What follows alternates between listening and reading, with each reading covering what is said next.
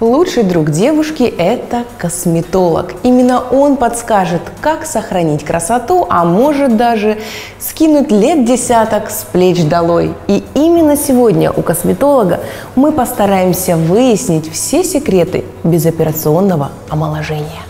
Кремы, маски, процедуры – что именно станет панацеей? Посоветоваться стоит со специалистом, который подберет нужный именно вам комплекс. Но волшебства ждать не стоит. На сегодняшний день есть э, методики, которые э, улучшают внешность в плане омоложения.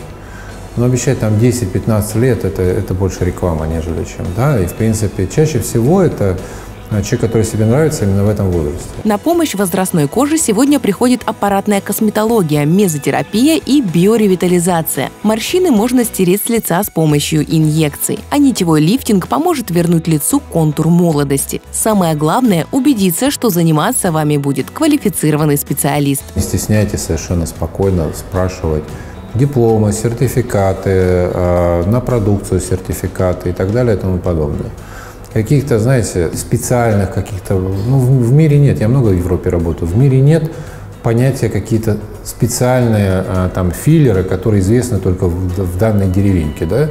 Чаще всего это просто дешевый филлер, который удорожается по и все остальное. В мире работают четко проверенными, и Россия сейчас идет по этому пути. Почему сейчас очень много как бы начинается у косметологов, работающих дома, возникает очень большое количество проблем. Штрафы усилились, уголовная ответственность появилась. Это хорошо, так и должно быть. Стареть не хочет никто. И сегодня этого вполне можно избежать и остаться на долгие годы ухоженной дамой без возраста.